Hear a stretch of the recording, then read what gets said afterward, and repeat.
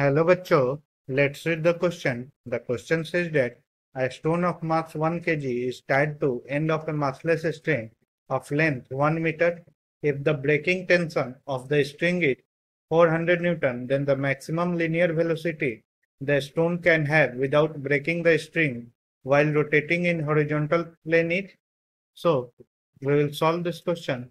First of all, we will see what will be the key concept to solve this question. The key concept that will be used to solve this question will be centrifugal force. Hmm. Centrifugal force acts radially outward, radially outward, and this centrifugal force is given by Fc is equal to mv square by r where r is the radius of the circular motion, v is the velocity, and m is the mass of the particle. Now, we have been given that a stone of mass 1 kg is tied to end of a massless string of length 1 meter. So this is the string 1 meter and this is the stone of mass 1 kg. This is tied. Now it is rotating in horizontal plane and this is the horizontal plane in which this stone is rotating. So this is a horizontal circle. This will be the horizontal circle. This, there will be a tension in a string. That is, the breaking tension in the string is 400 Newton and we have to find the maximum linear velocity that the stone can have without breaking the string. So if you see the free body diagram of the string, sorry, free body diagram of the stone.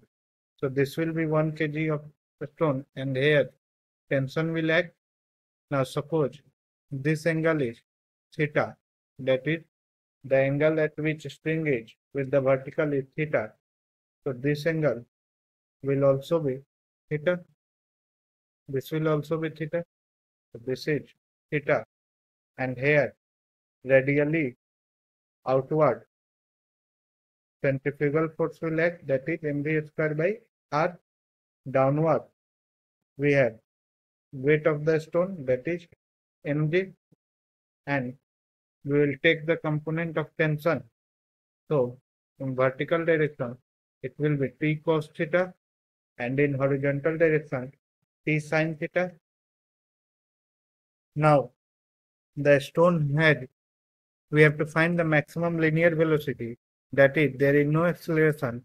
So, balancing forces in both direction, horizontal and vertical direction, we will have t cos theta is equal to mg and t sin theta is equal to mv square by r.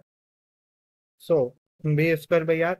r will be equal to the length of the string. r will be equal to 1 meter that is l square and we will have v square. v will be equal to, we have to find the v and then t will be equal to maximum breaking tension we will use to find the maximum linear velocity and m is also 1 kg. So we will use the value. So we will have t cos theta is equal to 1 into g is 10 or t cos theta is equal to 10. This is equation 1.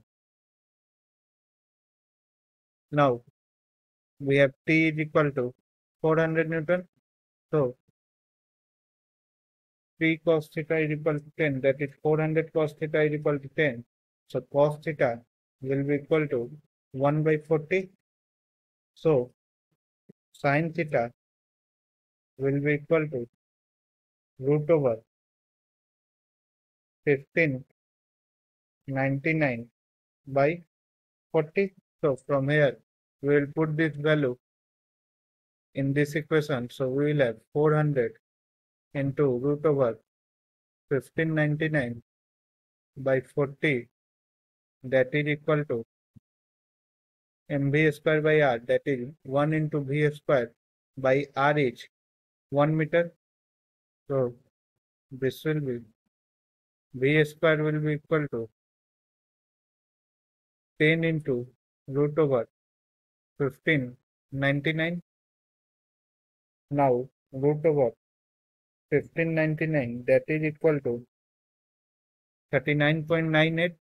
So v square will be equal to 10 into 39.98 that is equal to 399.8 which is approximately equal to 400. So v square will be equal to 400 approximately equal to 400. So v will be approximately equal to 20 meter per second. So this is the maximum linear velocity that can be achieved.